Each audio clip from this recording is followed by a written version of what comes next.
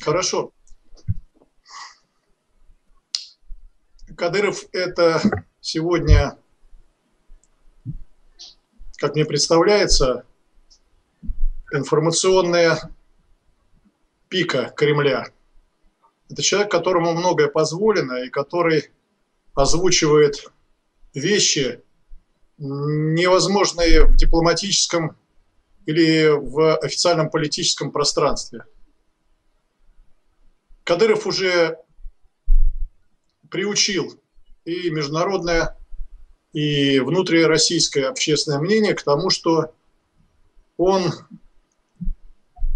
называет вещи своими именами.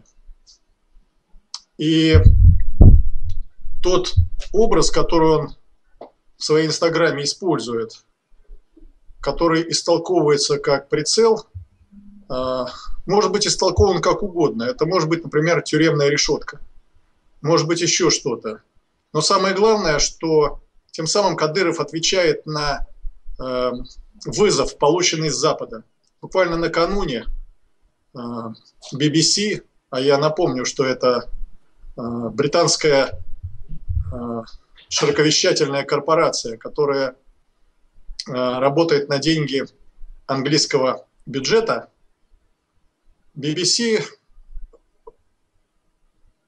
выпустила в эфир довольно грязный пасквиль, документальный фильм под названием э, «Тайные богатства Путина» или «Тайные богатства Путина». Там все как бы сказано не до конца, недомолвками, но это, очевидно, перчатка, которую западные масс-медиа бросают в лицо президенту Российской Федерации перед выборами 2016 года в Госдуму и уже с прицелом на выборы 2018 года э, на пост президента. Вызов принят, Кадыров отвечает.